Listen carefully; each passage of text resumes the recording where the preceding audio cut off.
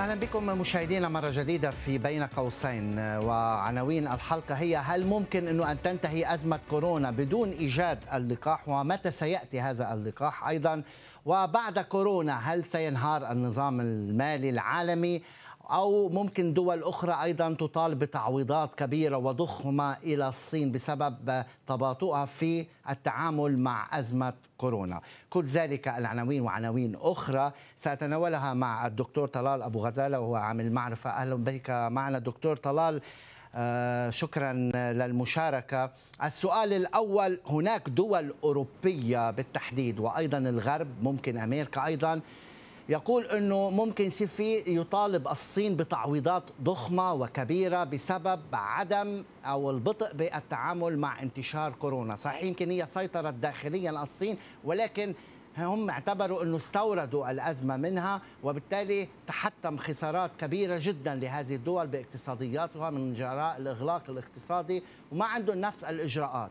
إيش بترد على هذه ممكن المعلومات؟ ووين ممكن إنه الصين هل تشهد مقاطعة في المستقبل من هذه الدول؟ بصير في تغيير بالتحالفات الاقتصادية مقاطعة أوروبية مقاطعة غربية مقاطعة أمريكية؟ سؤال شاغل الناس وبتحدثوا فيه ولكن إذا بدنا ناخذه من اولا من من موضوع علمي وبأسلوب علمي لم يثبت أن هنالك طرف متسبب لم أرى أي مستند وأنا أتابع الموضوع بدقة كبيرة وبصورة مستمرة ليس هنالك أي مستند مستند أمامي يقول بأن دولة معينة ومثلا الصين هي التي كانت السبب في انتشار هذا الوباء. ثانيا حتى لو قلنا أنه ما كانتش السبب هل هي بس باعتبار أنه ظهر عندها ومن ومنها انتقل للعالم وأنها كما يدعي الرئيس ترامب وكما تدعي كثير من وسائل الإعلام الغربية أنها لم تكن شفافة في الإبلاغ. تحت أي مادة في القانون الدولي مطلوب من أي دولة أن تكون شفافة في إطلاع العالم على ما عندها من أمراض. هل هنالك مادة في اتفاقية الصحه منظمة الصحة العالمية WHO هل هنالك في القانون الدولي مادة تنص أن على الدول أن تبلغ المجتمع الدولي عندما تصاب بأي مرض أو أزمة؟ فإذا من الناحيه القانونية أنا لا أرى أن هنالك أساس. أنا أعتقد أن هذه حملة للضغط لسببين السبب الأول لتبرير أي نقص أو تقصير من أي سلطة في في إحدى الدول بتحديدا أمريكا وأوروبا بأننا نحن لسنا المقصرين. المذنب أو المذنبين تقصيرنا مش هو السبب. السبب هو أن هذا الصين لم تبلغنا عن هذا الوباء. لم أسمع في الأوبئة السابقة أن الدول قالت هكذا كلام وطالبت بهكذا تعويض. أيضا لو نسينا حتى الحقوق الدولية والقانونية نحن أمام وضع المجتمع الدولي كله فيه هو المجرم. دول العالم كلها بما فيها المشتكية والمدعية قد صرفت مليارات في اختراع أوبئة في هنالك مختبرات في العالم كله. يشتغلوا على اختراع الاوبئه بحجة أن اختراع الوباء وباء يساعدني على اختراع المضاد له. هذا الكلام غير وارد كان يجب أن تصرف هذه الأموال على دراسات استباقية للأوبئة القادمة وكان بكثير وهنالك تحذيرات وهنالك جهات أمريكية داخلية مسؤولين أمريكيين قالوا أن أن اجهزه المخابرات بلغت بأن هذا الوباء سيشكل خطر ولم يؤخذ بذلك أي علم. أنا لا أقول ان أن الصين مخطئة ولا أمريكا مخطئة، أنا أقول أن هذا البحث هو بحث نظري سياسي إعلامي لا جدوى منه. نعم دكتور طلال يعني السؤال أيضا المهم وشاغل الناس إنه كيف ستنتهي الأزمة؟ هل ستنتهي بعد كساد كبير وركود عالي بعدين كساد ممكن أو ستنتهي بعد إيجاد المصل حتى لو وجد اللقاح ممكن كمان ما نرجع إلى الأمور حتتغير كل الأمور راسا على عقب وحضرتك قلت إنه حيصير في كمان نوع من حرب عسكرية أو صدام عسكري بين أكبر قوتين اقتصاديتين في العالم اللي هن أمريكا مع الصين. طيب هالسيناريو بعده موجود إذا الناس والخبراء يعني بيعرفوا هذه الأشياء منذ عدة شهور أيضا الغرب يمكن على علم. لماذا ينتظر هذه اللحظات؟ لماذا سينتظر أكتوبر مثل ما تفضلت؟ أو يعني الشهور المقبلة والكل عارف بهذا الموضوع. أشكرك أشكرك. اولا يمكن أحد الأسباب لإطلاق هذه الصيحة الآن خصوصا من أمريكا وهنالك في إحدى الولايات الأمريكية قدمت دعوة بالمحكمة بالمحاكم الأمريكية تطالب بتريليونات تعويض من الصين. هذا الموضوع لن ينتهي إلى أي جدوى لأن ليس هنالك أسس قانونية عليه. ولكن قد يكون هو أحد الأسباب التي تحضر للحرب. لأننا قد نجد أنفسنا أمام وضع في أمريكا أن أمريكا وصلت إلى مرحلة من الكساد وأنا قلت هذا الكلام من سنة 2017 نعم. موجود مع كل الوسائل والوسائط قلت أننا في هذا العام نواجه أزمات كثيرة وعديدة. الكورونا هي إحداها وقبلها كان هنالك أزمة اقتصادية عالمية ولكن ضافت هذه عنصر جديد لإضعاف الاقتصاد أكثر. فاذا الذي أنا قلته هو أن العالم سيجد نفسه في وضع وهنا أنا أنا أريد أن أستعين بمركز أبحاث أمريكي مركز دراسات يعني مش كلامي. قال أن الأمور ستصل إلى مرحلة من السوء في الاقتصاد الأمريكي لدرجة أن أن يضطر الرئيس الأمريكي أو أمريكا أو ترامب أن يضطر لأن يصطنع حرب manufacture a war. حرفيا الكلام في الدراسة يقول إنه أمريكا قد تصبح مضطرة to manufacture war لأن الحرب دائما كما حصل في الكساد الكبير في عام 1929 حتى 1934 هذا هذا الكساد انتهى أيضا بالحرب العالمية الثانية الأولى عفوا. فاذا نحن نتكلم عن آه، آه، عوامل اقتصادية تفرض حربا. لماذا أنا قلت أكتوبر سبتمبر؟ لأن هذا هو تاريخ توقع يعني. لأن هذا وهذا أيضا توقع مراكز أبحاث. لأن أنا لا, لا أبتدع ولا أخترع ولا عندي مصدر معلومات خاص. أنا أدرس التقارير لذلك أنا دائما أسمي نفسي عامل معرفة أدرس كطالب وأحلل وأستنتج. آه، آه، المتوقع أن من ضروري أن يقوم الرئيس بمواجهة الوضع السيء.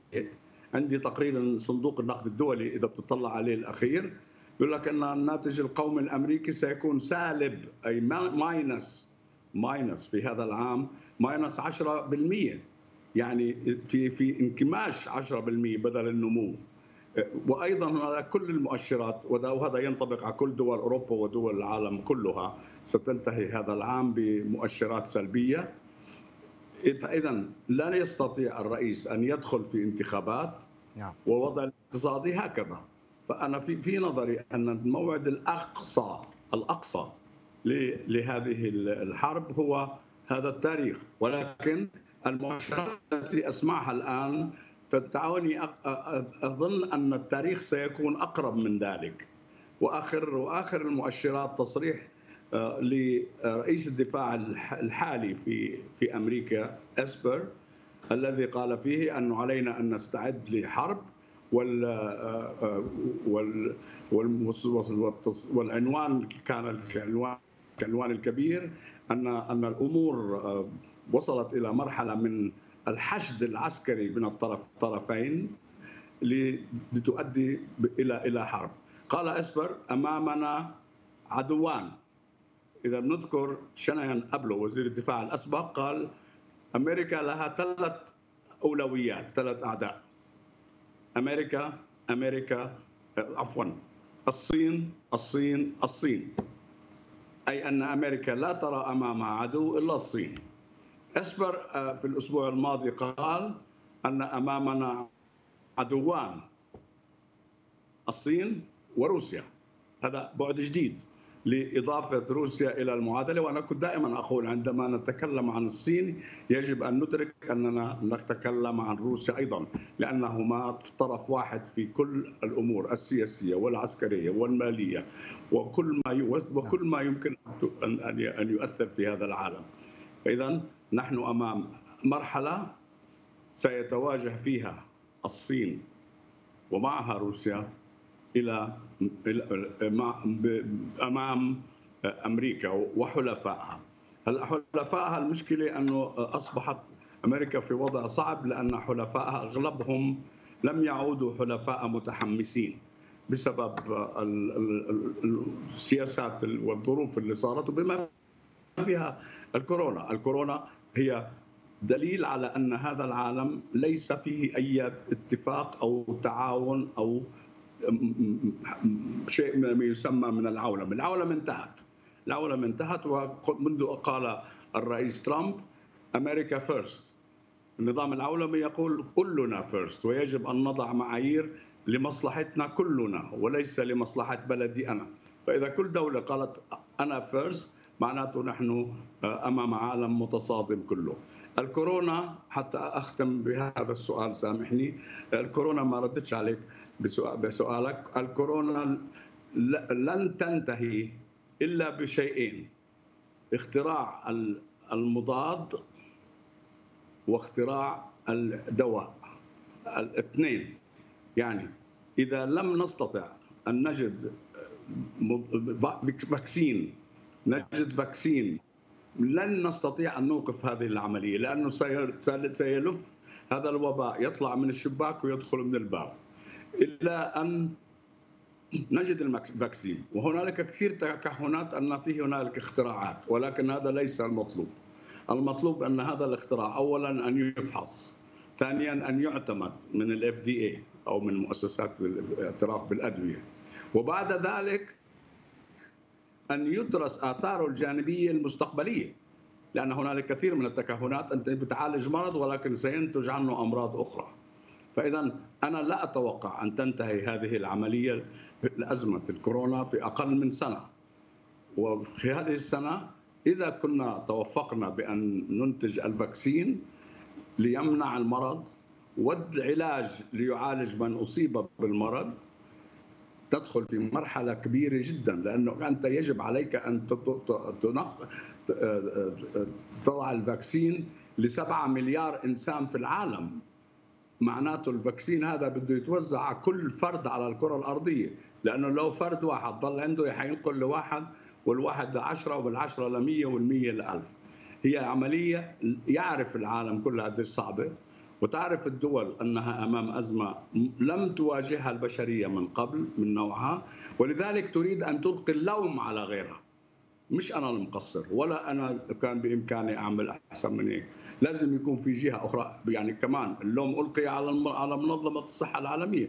كمان الرئيس ترامب قال أن المنظمة العالمية للصحة WHO هي مسؤولة. ولذلك ساوقف دعمي لها المالي. فهي الموضوع كبير جدا. الآن في هذه السنة سيحصل ما أنا أسميه الكساد الأكبر. أي أن هذا الكساد سيكون أكبر من كساد آه، بداية القرن الماضي. نحن أمام كساد. القرن الماضي اللي جاء بالحرب العالمية الثانية الكساد هذا سيأتي بالحرب العالمية الثالثة. نعم. وهي من نوع مختلف. أنا مش أقول إنه في جيوش كما حصل ستحتل وتدمر والى آخره. هي ستكون حرب استفزاز بين الطرفين لهدف واحد أن أمريكا تشعر بأن الصين أصبح وهذا مش كلامي هذا كلام كيسنجر.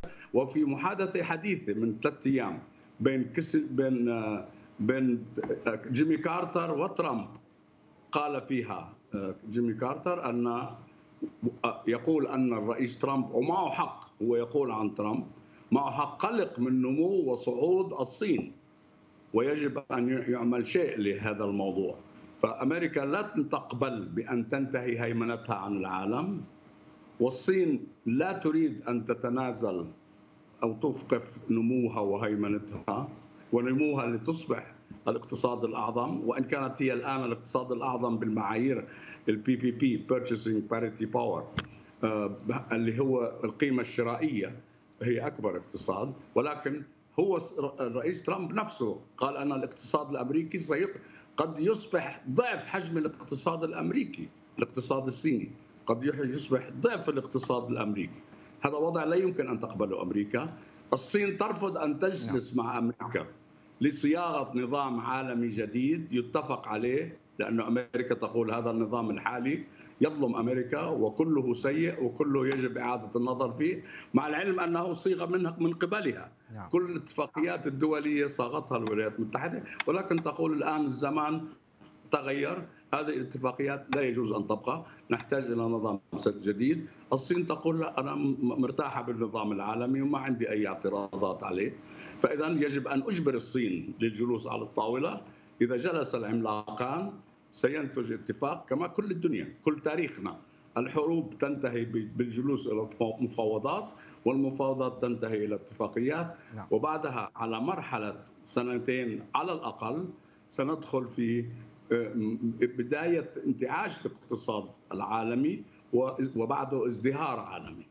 نعم دكتور طلال سأتوقف مع فاصل ثم نعود لنتابع الحلقة.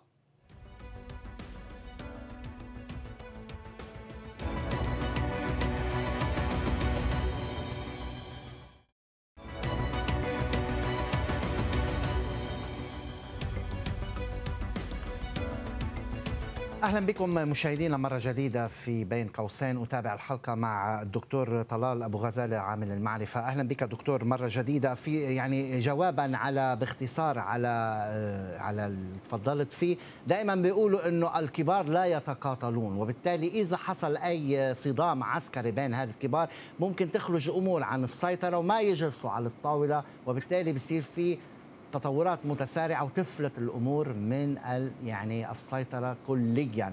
ما بيعود فيه لا اقتصاد جديد ولا نظام عالمي جديد وبالتالي بندخل بالمجهول. كيف بترد لو سمحت باختصار على هذه الأمور أنا أحترم الرأي الآخر ولا أدعي ابدا أن املك الحقيقة. هذا اجتهاد آخر. أنا كل قراءاتي وكل ما اطلعت عليه يؤكد أن أمامنا حرب من نوع جديد.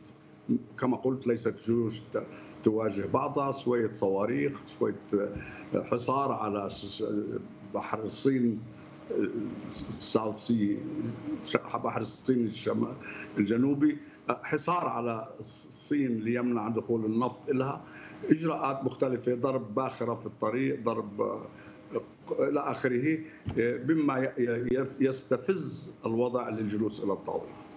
نعم. دكتور طلال السؤال الآن عن صندوق النقد الدولي. في نظرة متباينة بين فريق كبير وفريق آخر بيعتبر الصندوق ما عم بيساعد الدول بالعكس عم بيزيد من ديونه وعم بيخليه رهن للديون الثقيلة على البلد وإنه عم بيصير فقير أكثر وأكثر آه، بلد عن عن الوضع اللي قبله. لا وفريق آخر بيقول لا إنه عم بيساعد الدول ويحسن من على الأقل من مديونياتها انت إيش رأيك بنظرتك على الصندوق؟ والبعض بيعتبر إنه الصندوق أداة في بيد أمريكا. يمكن آه، اللي إذا بدنا نعرف نحكم على الصندوق يجب أن نذكر نذكر كيفية تكوينه. الصندوق ليس أحد مؤسسات الدول الأمم المتحدة وليس جمعية تنمية ولا جمعية اختياري آه، خيرية. هو آه، مؤسسة فيها شركاء الشريك الأكبر الاكبر طبعا أمريكا وبالتالي المتنفذ الأكبر في قرارات أمريكا ولكنها مجموعة دول ومنها دول عربية كالمملكة العربية السعودية. هذه المجموعة تملك الصندوق تملكه وبالتالي هي التي تدير شؤونه. الصندوق دخله هو من الفوائد التي يحصلها من الدول من الدول اللي يقدم لها الاستشارات. إذا كان هنالك خطأ فأنا ألوم الدول بدل ما ألوم الصندوق. أنت يا دولة عليك أن تطلبي من الصندوق استشارات وأنا أقول أننا نحن دائما نخطئ نطلب من الصندوق أن يفصل لنا لنلبس أبدا. أنت تقدم برامجك والصندوق فيه خبرات عظيمة وأنا أعرف الكثيرين من من المسؤولين فيه فيه خبرات قديرة. استفيد من رأيها كرأي آخر. إنما أنت صاحب البيت يجب أن تعمل الخطة التي تريدها. وعلى ضوءها تجلس مع الصندوق لتتناقش وتتحاور وتفصل ما يناسبك وليس ما يناسب الصندوق. نعم. الصندوق دوره الأساسي دورين له تقديم الاستشارات وهو مؤسسة جيدة فيه خبراء عظيمين ودوره الآخر هو تقديم القروض وليس بالشرط دائما ولكن نتيجة هذين الدورين نعم. يفرض عليك شروط. ففرض الشروط هو المشكلة التي يجب أن تتقبلها ولا يجوز أن تتقبلها إلا إذا كانت أهم من أهم من الوضع التي أنت فيه الآن. نعم دكتور طلال أيضا سؤال ثاني عن عائلة روتشيلد، إيش بتعتقد عن السيطرة اللي تقال دائما عائلة روتشيلد والثروة الخرافية اللي تملكها وإنه عم تتداول السيطرة على اقتصاد العالم من جيل إلى جيل، وفي آه، رأي ثاني بيقول إنه كله خرافة وما إلى وجود بقى العائلة وأيضا الأبناء هن أصلا بدعاوى مع بعضهم هن أولاد العم وغير ذلك، أنت إيش رأيك إذا هل عندهم يد طولة؟ نعم. لا العائلة موجودة وأنا كان لي شرف أن التقيت مع إيفلين إيفلين روتشايلد في في في قصر وينسور جلالة الملكة بريطانيا. موجود هذه العائلة وموجود استثماراتها بس نحن في عالم المعرفة وإذا كان هذا الكلام له دور وكان له دور خصوصا في مرحلة منتصف القرن الماضي. إنما الآن الثروة ليست عند روتشايلد ولا عند Bank of America. ولا عند Pan American الثروة الآن هي في المعرفة.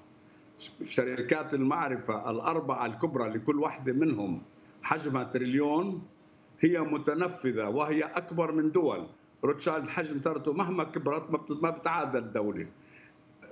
واحدة من الأربع شركات سواء جوجل أو أو أمازون أو أو أو أبل هذه الشركات كل واحدة منها بحجم 50 دولة الأصغر في العالم. تصور شركة حجمها قد 50 1 تريليون قصة آه، روتشايلد. الآن أنا أقول وفي ازمه الأزمة التي نعيشها الله يعين روتشايلد وعائلة روتشايلد واستثمارات روتشايلد. نعم دكتور طلال أيضا سؤال عن الدولار والذهب. عم بتشوف صعود الذهب حاليا؟ البعض عم بيقول رايح 3000 دولار وغير ذلك. هل بترى في انهيار للدولار وحيكون في طلب قوي على الذهب ولا الذهب انتهى خلص هي هاي قصة طويلة بدنا نبلش بنقطة. لأنه يجب أن نتذكر أن الدولار كانت أيضا نتيجة اجتماعات بريتن وودز. عندما تنازلت بريطانيا عن الاسترليني كعملة قياس وعملة احتياط وأصبح الدولار هو الملك. الآن الدولار هو الذي يتحكم في العالم كله باستثناء الصين. يعني الصين هي الدولة الوحيدة اللي في أثناء مفاوضاتها للانضمام إلى المنظمة العالمية للتجارة رفضت أن تربط عملتها بالدولار. ولذلك هي قادرة الآن كما أمريكا قادرة أن تطبع أي كمية من عملتها المحلية كما أمريكا تطلب تطبع باستمرار من عملتها. وما تضخه الآن من أموال بالتريليونات لإنقاذ الاقتصاد هو لأنه عندها المطبعة. هي المطبعة مش موجودة عند ولا دولة عربية ولا دولة غربية فقط عند أمريكا. الدولار يبقى أداة آه، سياسية وأداة اقتصادية هامة لن ينتهي دوره وإن شاء الله ما ينتهي دوره لأنه إذا انتهى دوره بدون اتفاق مع الصين انهار النظام المالي العالمي كله. أنا أتوقع أن يحصل من ضمن ما أتوقعه من مواضيع مفاوضات رئيسية الدولار هو أحدها عندما يجتمع العملاقان قبل لوضع نظام عالمي جديد. عندك الملكية الفكرية عندك آه، الدولار عندك النفط عندك مواضيع كثيرة موضوع بحث. أما أما موضوع الذهب فالذهب أيضا يقرر الدولار وسياسة الدولار. فاذا ما هوش موضوع يمكن تحديده بالعلم وبالتحليل. هو موضوع مزايدات ومضاربات. وبالتالي يمكن المضاربة تقرر أو السياسة التي تحدد المضاربات تقرر رفع الذهب يرتفع تقرر أن تنزله بتنزله. الملك هو الدولار. يعني ويبقى عرش الدولار بتعتقد آه، بهذه الفترة بس سريعا يعني. يبقى ماذا؟ يبقى الدولار هو سيد العملات يعني. هو سيد العملات ما فيش. الآن أنا أقول حتى في إحدى مقابلاتي قلت أقوى سلاح بيد أمريكا هو الدولار مش الطائرات ولا الدبابات ولا البنوك ولا ولا ولا أي ولا السياسة ولا مجلس الأمن.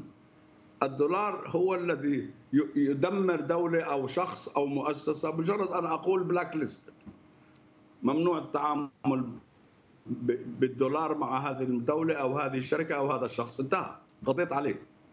فما في شك أن الدولار هو الملك ويبقى الملك.